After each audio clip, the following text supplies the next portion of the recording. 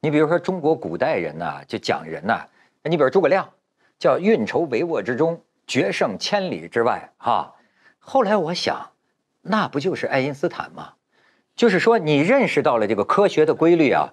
哎呦，这个这个爱因斯坦死后，我觉得他在哪儿也偷笑啊。就是说我说了，这个光从这儿到这儿，它会弯曲，多少年之后证明一点儿不假。爱因斯坦这样的人，如果是在古代，那就是天师啊，那这这决胜千里，告诉你什么时候日食就日食，告诉你什么时候哎，如果从科学界来讲，爱因斯坦真的是一个仅靠推演，用数学的方法来论证了很多我们以前没有办法去想的事情。爱因斯坦生在一八七九年，一九零五年的时候写《狭义相对论》，那年他才二十六岁，二十六岁，四篇文章。就把 E 等于 mc 的平方给推出来了，它就是一个管专利的这样一个小小事务员嘛。对，专利局的。他最牛的就是写引力波嘛，就是预测了引力波的发现。我们真正看到引力波已经是二零一六年的事情了。那那是因为工具大了嘛，就是你的工具够了。他所预测的很多的定律，指导人类又往前走了好多步。那你说爱因斯坦的 DNA？跟我们对对对，我跟他想的一样的问题。他的大脑不是那能不能拿来做研究，来改变这个人类的 DNA 的总库，对不对？我们先先想几个问题。第一个是，就是您刚才说的爱因斯坦大脑，大家都认为爱因斯坦大脑大，后来死后他真的被解剖了，还小，他还小，没有什么特别，没有特别，所以他的我们还小呢，比正常人，我们大概成人的大脑一千四百个立方厘米吧，cc。我们一般用毫升吧，毫升去理解。女性的会小一点，因为头大头小，这是个气质的问题。但没有说女性笨，男性和女性智商是一样的，是一样的啊。嗯，这得说。只是在不同的点。我以为女的比较聪明，这更会说话。你的感觉是这样？我还是女的更。我还是要用这个这个这个，这不是政治正确，这是真实证明。嗯，男性和女性之间大脑上在结构上的差异，仅仅是体积上小了百分之十一，那个就跟体型的差别一样。而且较强壮的男性比头较大的男性比头较小的男性也差这么多，就证明这跟就大脑是没有性别二态型的，啊，不会因为性别产生两种状态叫性别二态型啊，这是一个定论，这不是一个为了那么那么这个大小跟它的功能有没有什么没什么关系？因为爱因斯坦的大脑也证明小一些。那这一点是不是说明就是传统所谓的男性气质、女性气质，基本可以认为是？后天社会文化环境，我相信是影响。就比如说，很多人就认为女性这个数学不好啊，方向感不好，其实都不是，在女性都能找到相反的证据。嗯，这个更多的是被暗示了。对对对，是被暗示了。就像星座这个玩意儿存不存在呢？嗯，其实更多的是被暗示了。就是您在上一集提到一个，我觉得还没展开说说呢。这个真的是未来必须要考虑的一个伦理问题，就是我们是不是有可能定制？定制人类，从仅仅仅仅从可能性上，科技的可能性，纯技术的角度来讲，我们这么讲，我可以按在今天的技术下定制任何一个定制序列的人类，但它的功能我预知不了。就比如说三十一个碱基，嗯，你你说怎么排，嗯，我可能给你可以都合成出来，但这个孩子能不能按照你的预期发展成那个样子？比如说打篮球超过姚明，比如说脸就像哪个明星，这个事儿我们做不到。不是设计，不是能不能。制成就比方说它的肝呐、胃啊，根据现有的科学研究是最理想的，不太大、不太小，去掉一些疾病的可能，脚的大小、身体的这个比例，这些可以做成一个比较理想的。今天还做不到，还做不到。但是技术上来讲，这个事情应该说迟早会有是有可行性的啊。举几个例子，比如说大家今天研究的比较透彻的是酵母。嗯，酵母就是我们酿酒的蒸馒头。嗯，蒸馒头。现在酵母不仅仅能蒸馒头了，比如说这个，这是番茄，对吧？嗯，我们以前一直刚才还是精子呢，啊，就是番茄了。啊，一直讨论这个番茄红素。嗯，比如说咱们喝红酒要白藜芦醇。嗯，这些以前要从葡萄从番茄里做，现在不用，让酵母表达，让酵母直接表达。最典型的一个成功的案例就是青蒿素啊，青蒿素不是从黄蒿里提出来的，青蒿素是从酵母里表达出来的。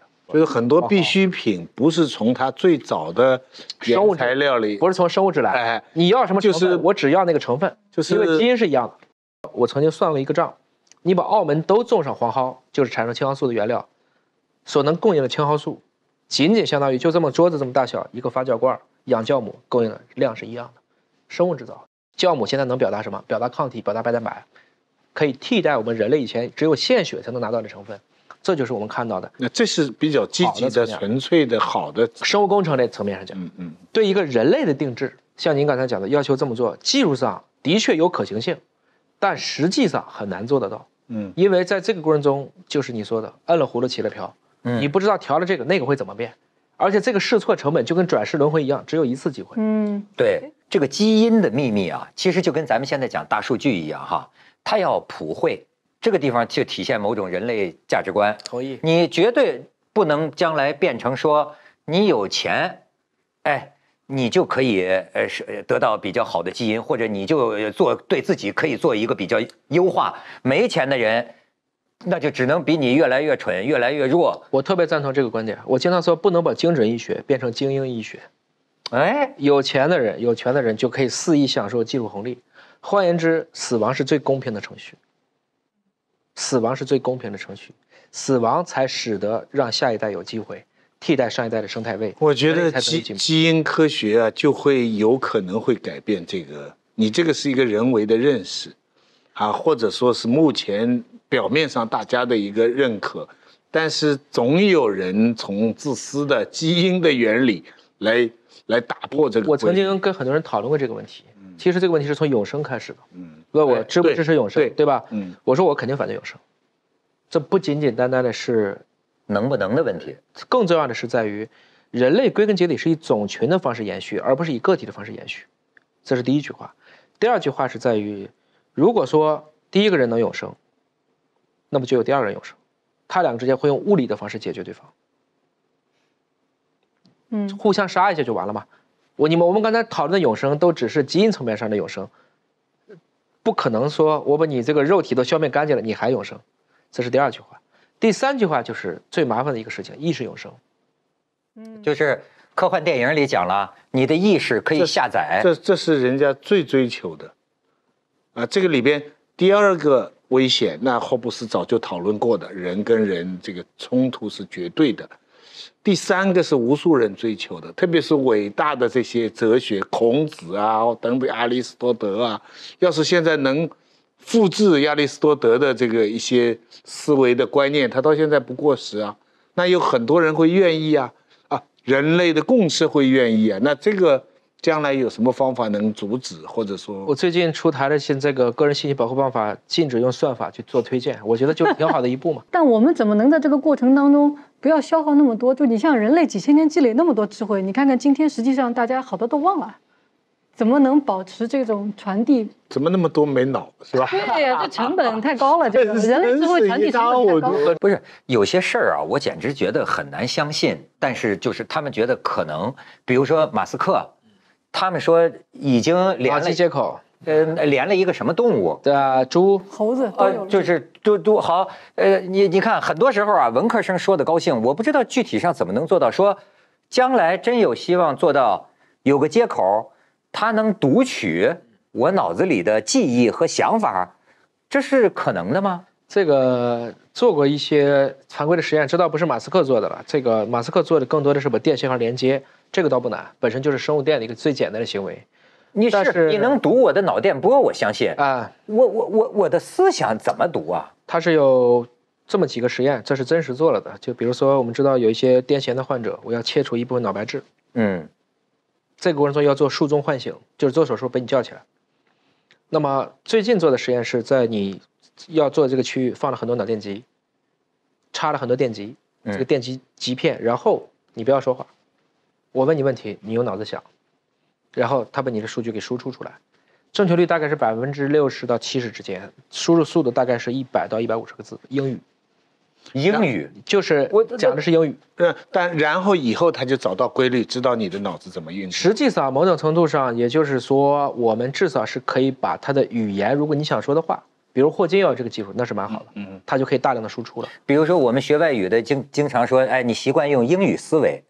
那您这意思就是说，呃，脑子的思维是用，假如是用语言思维的话，至少语言中枢的这一部分的信号，在一个有十亿人级别使用的语言、上百亿的数据训练集的条件下，可能被正确识别出来，这它就能翻译成英语。我说的这就是一个实实在在的案例，这是发了科学文章的，这事已经做到了。所以你想想这个未来，就是所谓他们说的，呃，因为一直有这么一个科科幻啊，这是科幻世界里的啊，要是真的那太可怕了。就是像就是义军刚才说的问题，就是说我们人呐会死，一个人你像爱因斯坦那么聪明，就死了也就死了，只能说他的思想永生存。但是假如说将来要是有一天有人提出这种假说吧。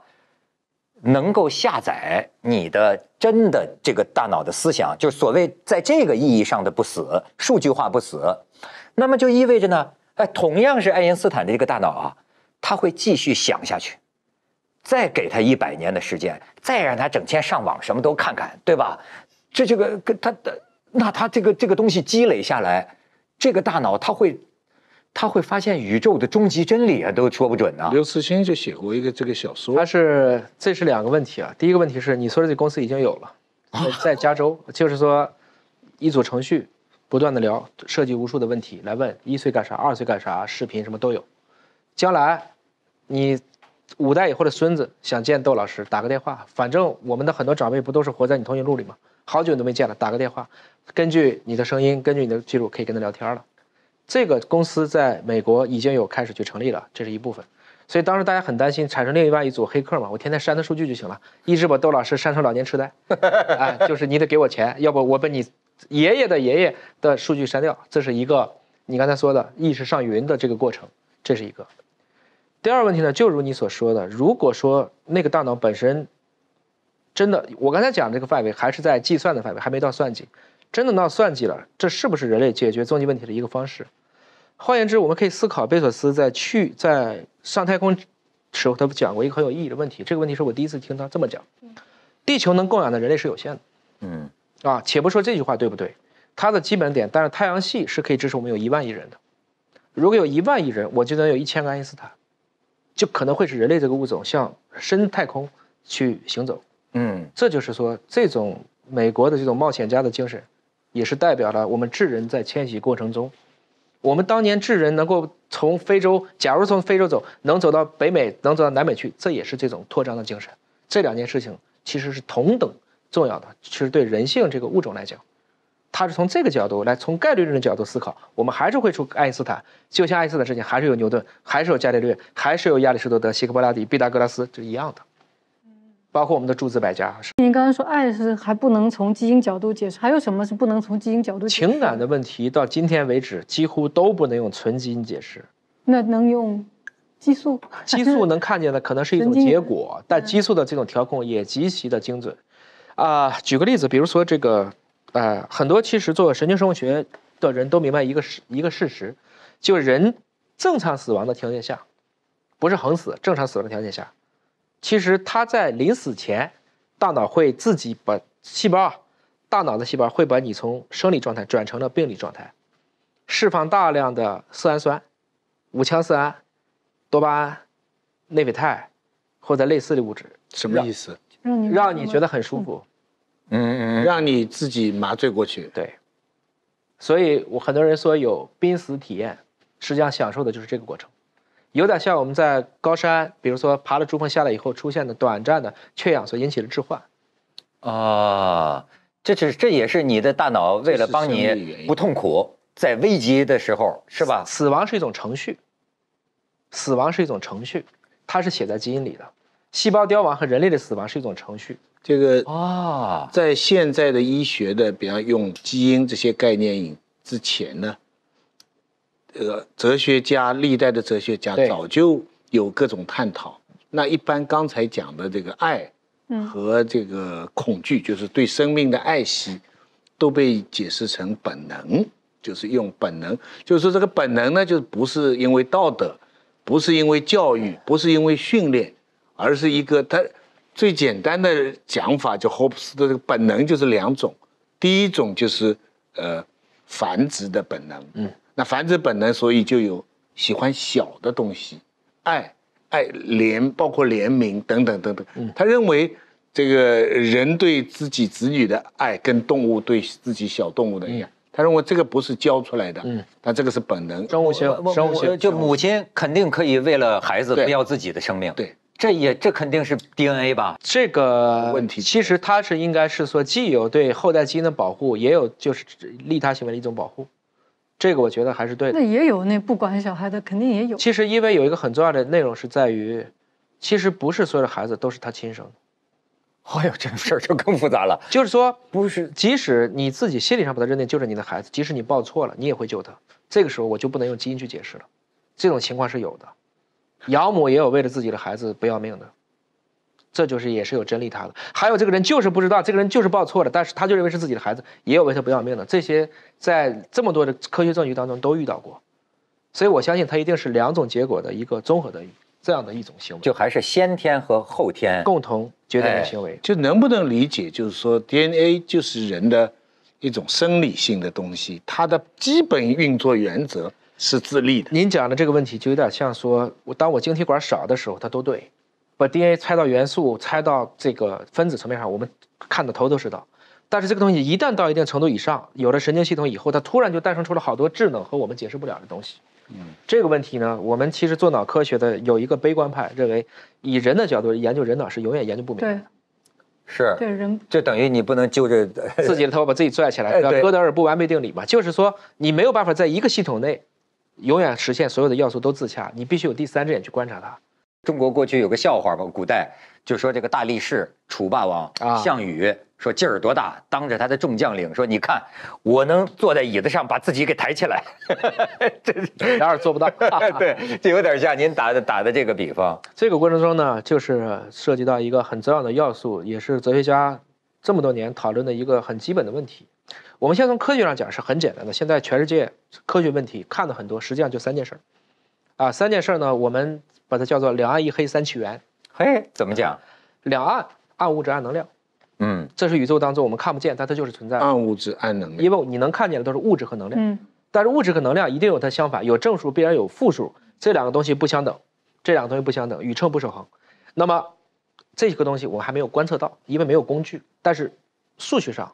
或者说，我们经过模拟演练上，它是存在的，这是两个大事儿。然后一黑是黑洞，嗯，黑洞背后是什么？黑洞那个点是不是奇点？那个字不念奇，念奇，很奇怪，奇奇点。奇点的意思就是在在那个点上，所有的物理定律都是崩塌的。奇一点，奇一点，不遵循任何的，至少在宇宙大爆炸之前有没有物理定律？这就是第一推动力，或者说这些物理学大师为什么好到最后都有了这种宗教性的感觉？这是物理上所追寻的内容，三起源：宇宙起源、生命起源，最后一个最难，意识起源。如果不解决意识起源，这其他的问题都没用，因为你只有知道意识起源，你才可以去理解之前的两暗一黑两起源。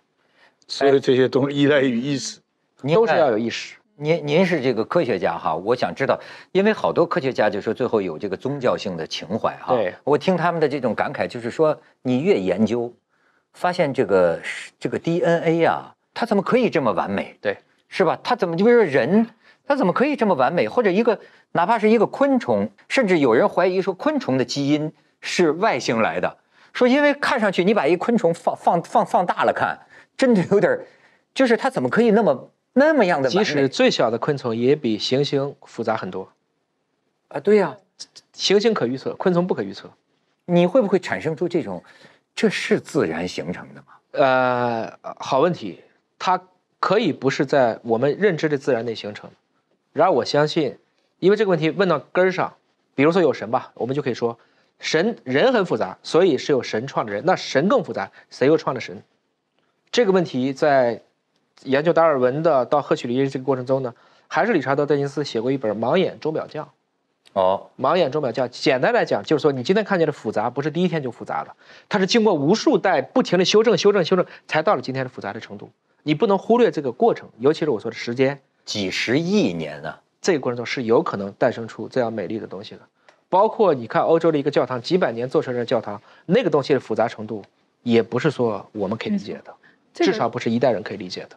这个问题我还问过那个赫拉利，我就说，我就问他为什么，呃，像牛顿最后是皈依了这个宗教等等，他认为这个根本不是这个问题，不是他研究到那个程度，他认为就是因为他的家庭就是天主教家庭，他倒反而认为是从小的或者您说的基因里面的就是带出来的，他他那个家庭浓厚的这个宗教气氛，他最后他年纪大了会归于那个气氛，他就不相信，就说真的是他，因为这个东西他说不，他说不可研究，他说我们要怎么我们在谈论神，在谈论什么神，是决定大的事情还是小的事情，是决定了我们的万物的这个运行，但这个他说我们只是未叫未知，这个叫未知，我们每一次的科学上的这个努力，回到了不可知论，对，都把它变把未知变成这个已知嘛，那么。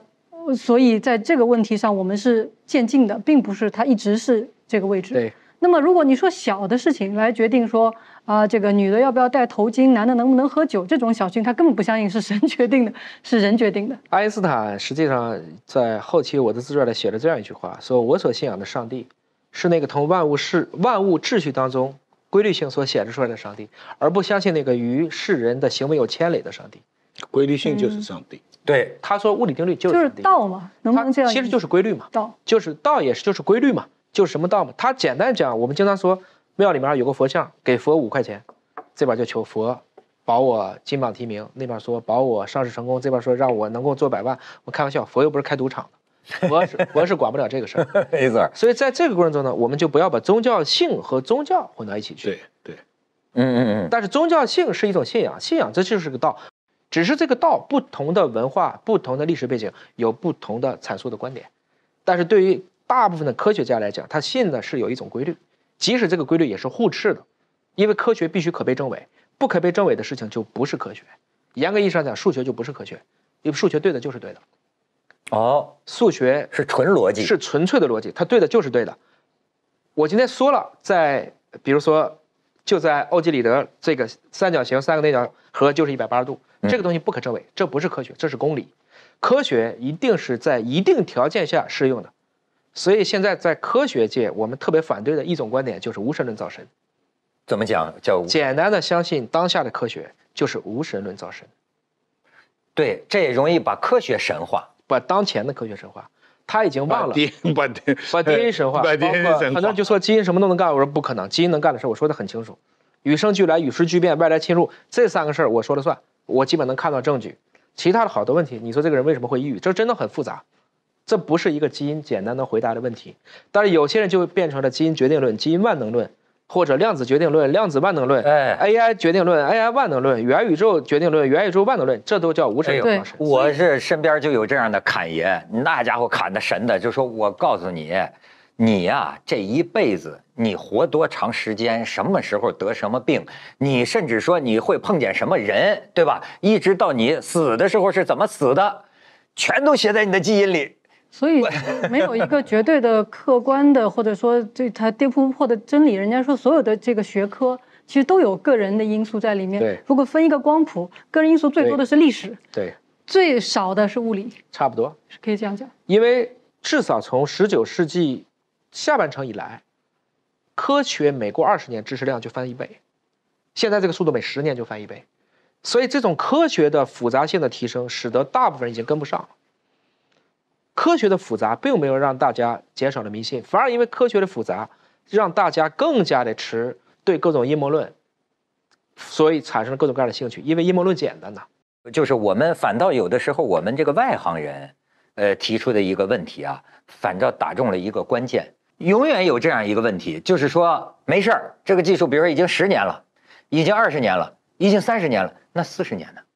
比如说相信科学的人，他就会非常确定，就这个没有问题。比如说药品，咱们就说美国 FDA，那 FDA 通过的的药品，那就是可以的药品，那就是就这这就是科学就认知到这个了，所以你就可以吃了。但是永远也有人就是说，那你怎么知道呢？